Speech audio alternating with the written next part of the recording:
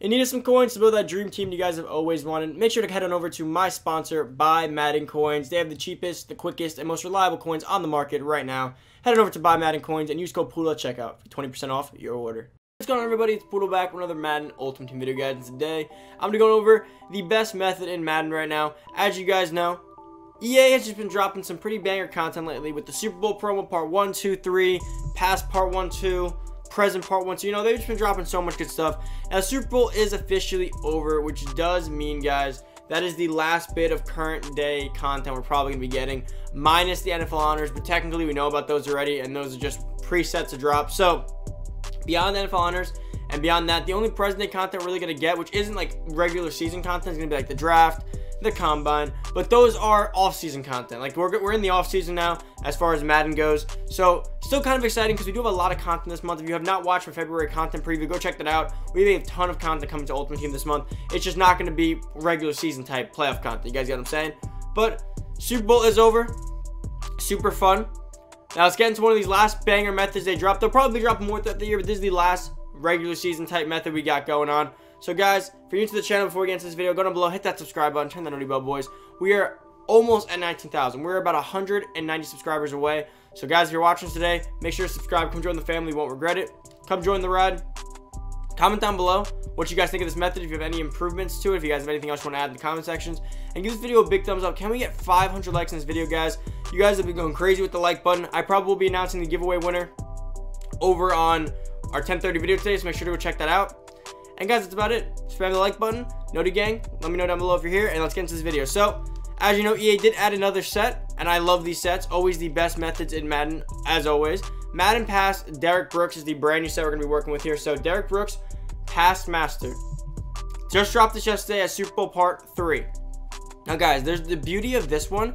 They actually dropped some usable players in these. So, in the other pass ones, Steve Young, you couldn't really use Michelle, Timmerman, or Matthews you couldn't really use Brandon Graham, Roethlisberger, Malcolm Butler. So a lot of these were kind of just like, I'd rather do the method where you end up making coins with these.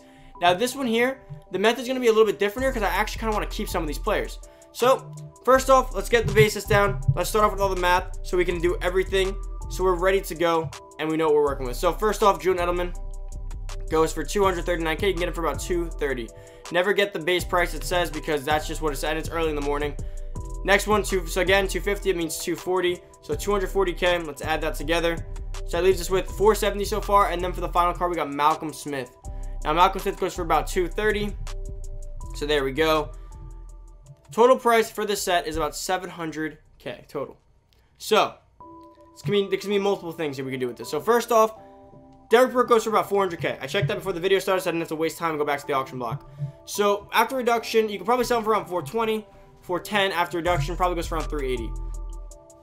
So for time's sake, we're going to round to 400k and we can subtract the 20k extra at the end. So 400k. So this set costs you 700k to do. And this set, unlike the others, you cannot use tickets to get a free player. They did not add that, which makes the set a little bit more difficult. But these cats have more usable players, so I don't mind as much. So let's go beyond that. So first off, method one is where we sell Derrick Brooks. It's always how the first method works. So first method, we sell Derrick Brooks. So we sell Derrick Brooks, he goes for about 400k. So you subtract it, that leaves you with approximately 300k difference. So it costs you 300k for all three of these guys. Now in method one, you're just keeping all three players. So method one, you keep all three of them. So first off, an amazing method here because for starters, Edelman, Lane Johnson, Malcolm Smith all go for to about 230, 240 each. So you're getting pretty much three of them for the price of one. Solid, solid deal. Now, here's the thing. I don't really like Edelman. I think Edelman, you definitely want to sell no matter what team you have. So this is why we're going to start focusing on method two a little bit more. So method one, you keep all of them. So for 300K, you end up keeping all of the three nat players, and you end up with a great return. Lane Johnson is amazing, super usable, as well as Malcolm Smith, both usable cards. So I don't think these are horrible. I think these are both good. Now, beyond that, method two. So method two, again, 700K. This time you're selling Derrick Brooks again, so that leaves you with 300,000 coins. Again, difference. But this time, this method, you're only keeping Lane Johnson. Okay, you're quick selling Julian Edelman and Malcolm Smith. Now, the reason you're quick selling both of those is because this method is when you want to just have one of them, but you don't want to pay full price. Because a lot of people want Lane Johnson, but they might not want to pay his ticket price. So the beauty of doing the set this way is that when you do that, you're able to get one of the Nat ones for pretty, pretty cheap in comparison. So they go for 25200 total for Edelman and Malcolm Smith. Remember, they do get cut in half because they're Nat, but if you add them back together, it ends up being the full price. So 25200 training.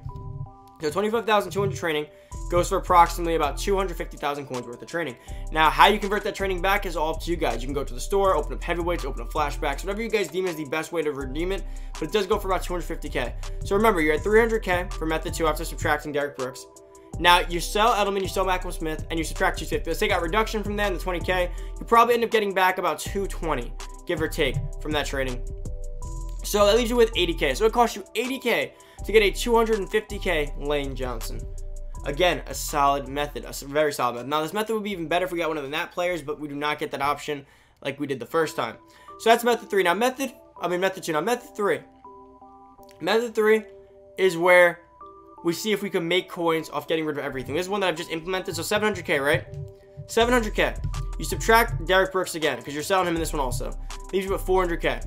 So now with 400k, you can now sell all of them. So remember, it's 25,200 for uh, for one, but it's in half. So you gotta cut that in half. So 25,200 divided by two is sit 12.6. So 12,600 training. Now you have three of them. So you times that by three. That leaves you with 37, 8, 3,700 or 37,800 training. Now you times that by about 10, which is the training value, then you take out reduction. You end up with about 330 to 20k worth of training back after everything's said and done. So essentially, you could have made 20k. Is it worth it to make 20 to 30k in the set? Probably not, but you guys could if you felt the need to. But it's going to take a little bit because you got to convert all the training now. Now, method four. Method four is where we keep Derrick Brooks. Let's see if it's worthwhile to keep Derrick Brooks even without a nat card. So 700k again. So we're back at square one now. We're going to quick sell all three of them. All three of them, again, leaves us with about 330k worth of training. So you're going to subtract 330k worth of training.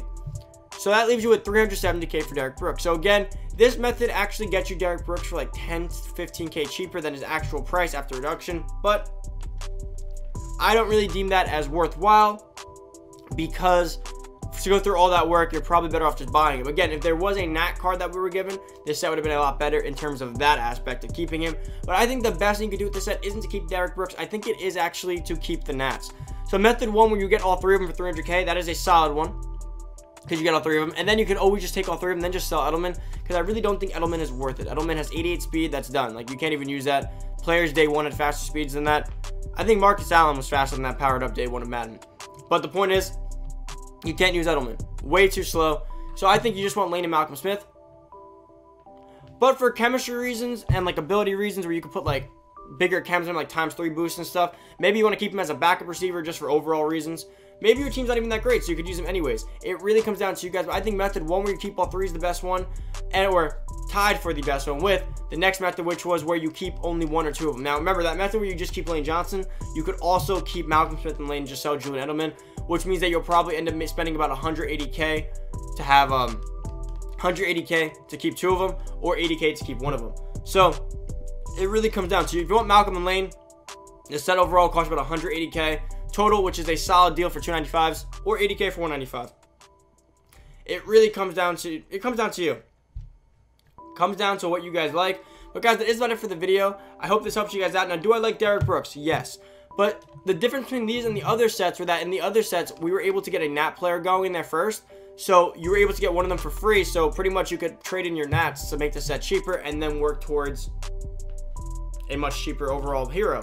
But in this one, you didn't get Nat players, so it actually kind of doesn't help as much to try to keep the full player.